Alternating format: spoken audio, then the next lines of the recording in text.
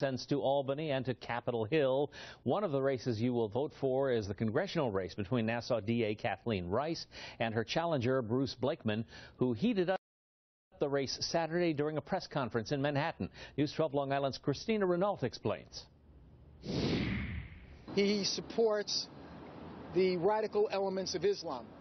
GOP congressional candidate Bruce Blakeman is talking about Imam Siraj Wahhaj, who appeared on a list of unindicted co-conspirators in the trial of the 1993 bombing of the World Trade Center.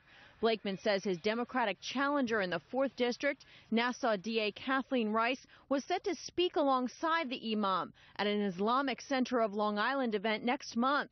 He says Rice didn't cancel until it was made public. And we were told my campaign was told that two weeks ago the invitations went out, and certainly she would have received an invitation to an event that she was supposed to be one of the keynote speakers.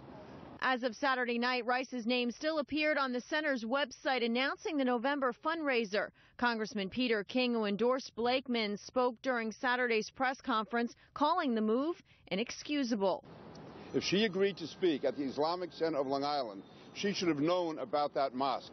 That's the mosque which, after 9 11, had several of its most prominent officials say that the World Trade Center attack was not carried out by Al Qaeda, but it was by the FBI, by the CIA, by the Jews.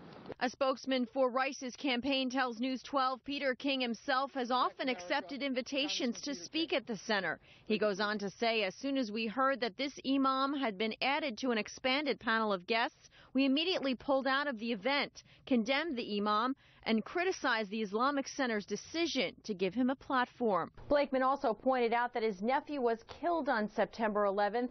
Rice's campaign spokesman says the Republican is simply trying to, quote, score political points on 9 11, and his actions are shameful. In the newsroom, Christina Renault, News 12.